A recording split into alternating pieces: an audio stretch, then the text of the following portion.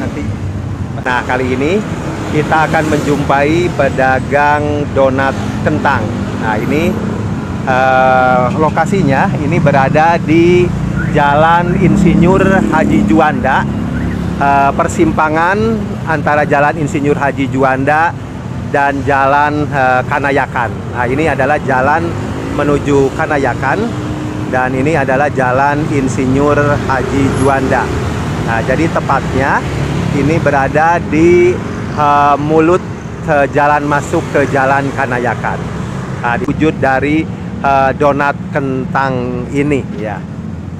Oke, kita lihat. Halo Kang. Aduh. Sama Kang siapa Kang? Kang Kris. Kang Kris. Oke, Kang Kris. Lagi ngegoreng nih Kang. Iya lagi goreng. Oh, katanya bikinnya tadi langsung di sini juga ya? Iya dadakan di oh, sini. dadakan. Jadi mulai buka jam berapa? Mulai buka jam setengah sebelas. Mulai buka jam setengah sebelas siang Iya. sampai Sampai habis. oh sampai habis. Iya. Biasanya rata-rata habisnya jam berapaan? Biasanya sebelum maghrib. Kadang Sebelum maghrib. habis maghrib juga. Oh, kadang habis maghrib. Oke. Ah ini sekarang mau ngegoreng yang mana? Nah ini yang baru dibuat nih. Oh baru dibuat ya. Ini butuh berapa lama nih ngegorengnya kak? Paling antara 5 menit. 5 menitan ya? Iya. 5 menitan.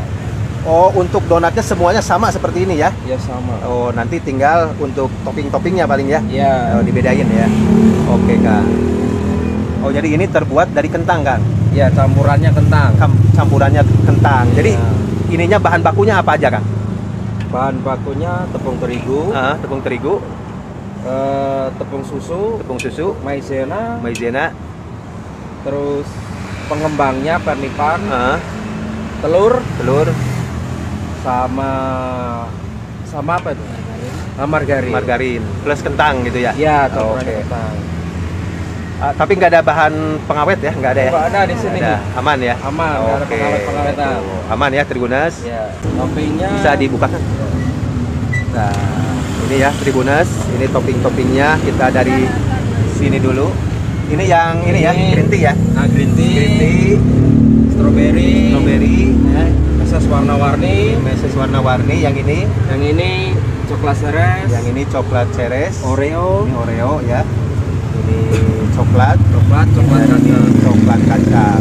Yang ini masih polos. Oh, jadi Topping polosan. bebas. Oke. Ini yang bisa ngedadak gitu ya? Ya. Oke. Siap.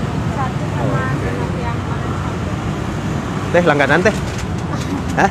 Baru coba? Iya. Oh, baru coba. Mudah-mudahan jadi langganan ya. Siap. Kita lihat nih lagi ngegoreng. Ini best sellernya yang mana, Kang? Dari itu ya. berbagai macam varian ini. Kalau yang sering orang ngambil itu Ah. seres coklat. Oh, Banyak itu. seres. Seres coklat ya? Dan gula tepung. Oh, gula tepung. Iya, iya, iya, iya. Oh, kalau gula tepung ngedadak ya? Ya, oh, langsung. Ya. Oh.